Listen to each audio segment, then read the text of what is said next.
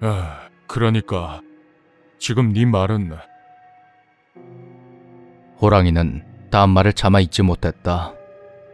그도 그럴 것이 너무도 터무니없는 요구를 들었던 탓이었다. 세상 순진한 얼굴을 한 어린 오누이는 호랑이에게 자신들을 낳아주고 길러준 어미를 죽여달라는 부탁을 하고 있었다. 한낱 짐승이라도 어미의 은혜를 아는데 어찌 사람이 이런 요구를 하는 것인지 호랑이는 어이가 없었다. 내가 너희들의 요구를 들어주면 너희들은 나에게 무엇을 주는 거지? 아까 말한 그대로요. 우리는 간섭할 사람이 없어지는 것이고 당신은 배를 채울 고기를 마련할 수가 있으니 서로 이득인 거지.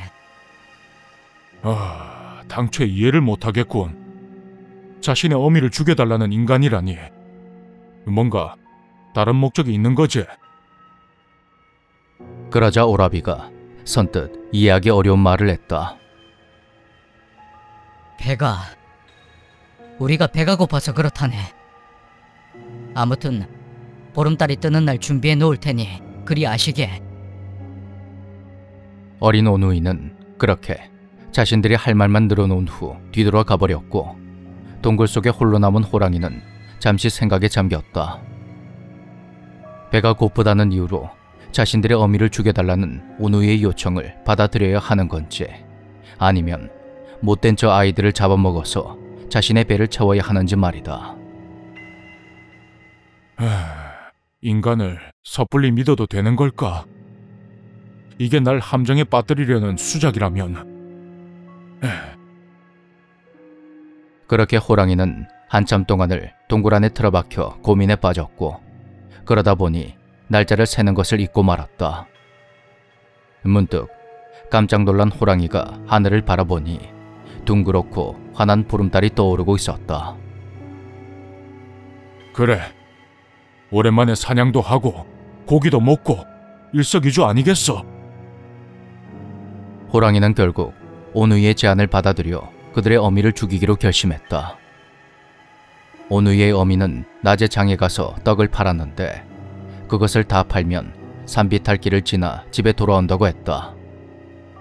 호랑이는 그 길목에 있는 커다란 나무 뒤쪽으로 몸을 숨겼다.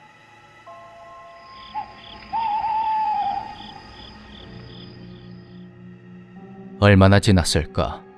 누군가 산비탈길을 아슬아슬하게 내려오고 있었다.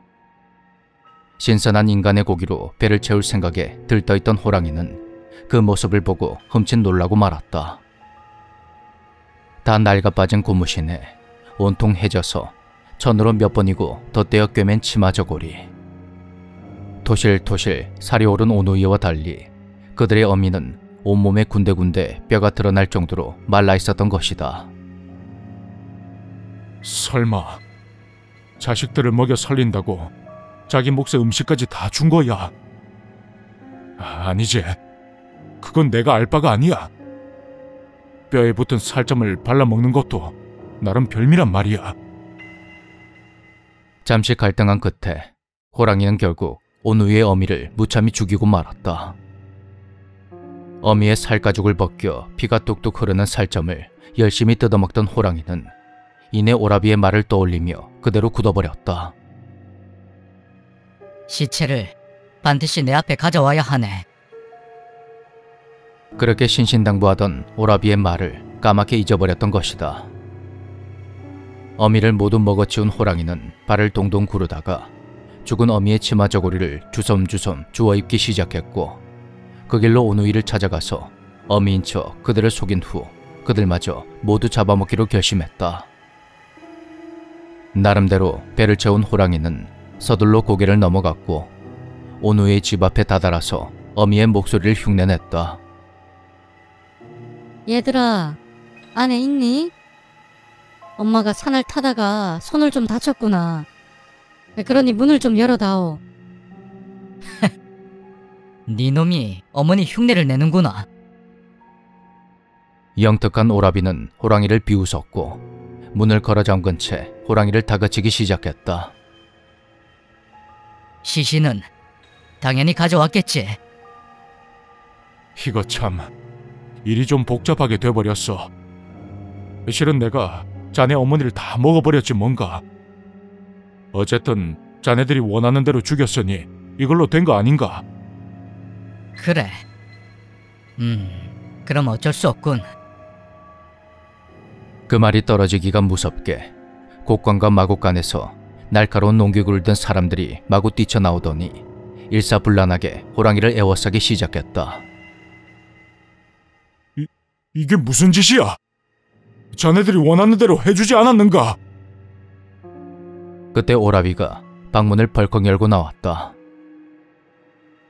아, 입을 하나 줄여줬으니 그건 뭐 고맙다고 해야겠군. 이제 네 놈의 살가죽을 벗겨서 옷을 만들고 내장으로 허기진 배를 채울 것이며 뼈는 무기로 쓸 것이다. 그리고 호랑이는 열 명은 좋기 넘는 사람들의 손에 맞아 죽고 말았다. 제 아무리 맹수라도 그 상황에선 속수무책으로 당할 수밖에 없었다.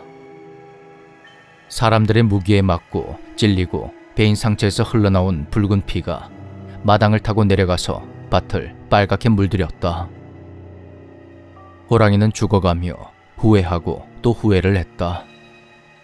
차라리 그 어미를 살리고 이놈들을 죽였어야 했다고 말이다. 그 마음을 다 알기라도 하는 듯 오라비는 죽어가는 호랑이의 눈동자를 보며 이런 말을 했다. 그래. 거울아, 나를 비춰라. 그래도 내가 세상에서 제일 나쁜 사람은 아니잖아. 나보다 더 악한 놈들이 얼마나 많은데. 그렇지 않은가? 호랑이는 마지막 숨을 헐떡이며 속으로 생각했다. 그래. 니놈의 말대로라면 세상에 나쁜 사람이 어디 있겠어? 물건을 훔치고 불을 지르고 살인을 해도 그래도 내가 저놈보다는 낫지 않냐며 자신의 죄를 합리화할 테지.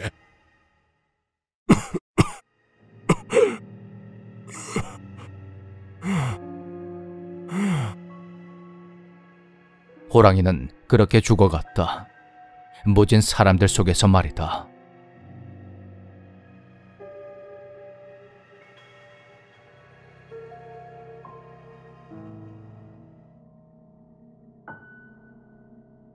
이 형이 대학생이었을 때 겪은 일이다.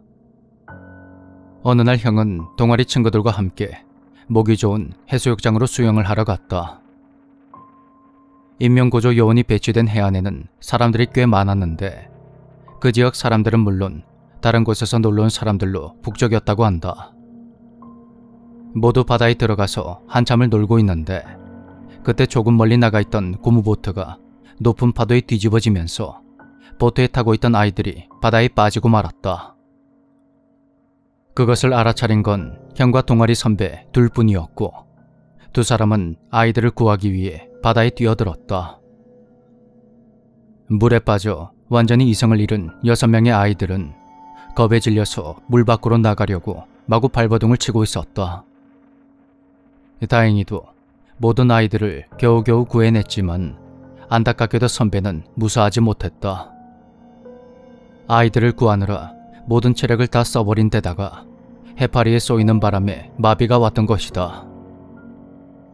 평소 정의감에 똘똘 뭉쳐서 선행을 베풀어 왔던 선배는 정말로 좋은 사람이었고 동아리 사람들 모두 그런 선배가 왜 죽어야 하냐며 하염없이 울었다.